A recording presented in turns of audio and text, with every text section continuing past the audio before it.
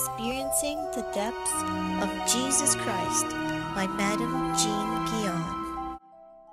Chapter 10 Living Indoors. In the last chapter, we concluded by saying that the believer who is utterly in love with the Lord will not even desire the things that might offend the object of his affection. I will go on to say it is only by abandonment that it is possible to reach a total victory in subduing your senses and your desires. Why is this so? Actually, the reason is very obvious. First of all, you must understand the workings of your inmost parts. Where do your five senses draw their life and energy? From your soul. It is your soul that gives life and energy to your five senses. And when your senses become aroused, they in turn stimulate your desires.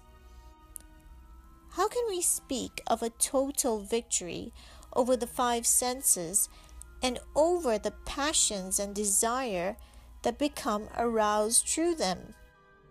If your body were dead, you would not be able to feel, and you certainly would have no desire. But why? Why would the body have no desire? Because it would be disconnected from the soul. So let me repeat your feelings and your senses draw their power from the soul. Christians have sought to find many ways to overcome their desires. Perhaps the most common approach has been discipline and self denial. But no matter how severe your self denial may be, it will never completely conquer your senses. No, self denial is not the answer. Even when it appears to have worked, what self denial has actually done is to change only the outward expression of those desires. When you deal with the externals, what you are really doing is driving your soul farther outward from your spirit. The more your soul is focused on these outward things, the farther it is removed from its center and from its resting place. The result of this type of self denial is the opposite of what you sought. Unfortunately, this is what always happens to a believer when his life is lived out on the surface. If you dwell on the desires of your outward nature, paying attention to them, they in turn become more and more active. Instead of being subdued, they gain more power.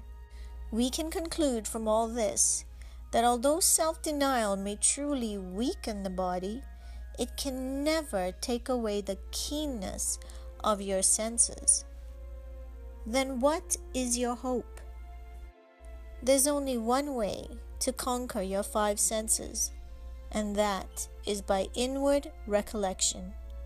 Or to put it another way, the only way to conquer your five senses is by turning your soul completely inward to your spirit, there to possess a present God. Your soul must turn all of its attention and energies within, not without within to Christ, not without to the senses. When your soul is turned within, it actually becomes separated from your external senses. And once your five senses are separated from your soul, they receive no more attention. Their life supply is cut off they become powerless. Now let us follow the course of the soul. Your soul has learned at this point to turn within and draw near to the presence of God. The soul becomes farther and farther separated from the self. you may experience being powerfully drawn within to seek God in your spirit and discover that the outer man becomes very weak. Some may even be prone to faintings. Your main concern, therefore, is with the presence of Jesus Christ. Your main concern lies in dwelling continually upon the God who is within you. Then, without particularly thinking of self denial or putting away the deeds of the flesh, God will cause you to experience a natural subduing of the flesh. You can be sure of this. The Christian who has faithfully abandoned himself to the Lord will soon discover that he also has laid hold of a God who will not rest until he has subdued everything. Your Lord will put to death all that remains to be put to death in your life. What then is required of you? All you need to do is remain steadfast in giving your utmost attention to God. He will do all things perfectly. The truth is, not everyone is capable of severe outward self denial, but everyone is capable of turning within and abandoning himself wholly to God. It is true that what you see and what you hear are continually supplying your busy imagination with new subjects. They keep your thoughts jumping from one subject to another. Therefore, there is a place for discipline concerning what you see and hear. But be at peace. God will teach you about all this. All you need do is follow His Spirit. Two great advantages will come to you if you proceed in the way I have described in this chapter. First of all, by withdrawing from outward objects, you will constantly draw nearer to God. The closer you are to God, the more you receive His nature.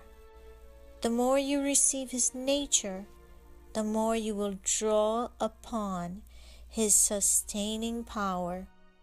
Secondly, the nearer you draw to the Lord, the farther you are removed from sin.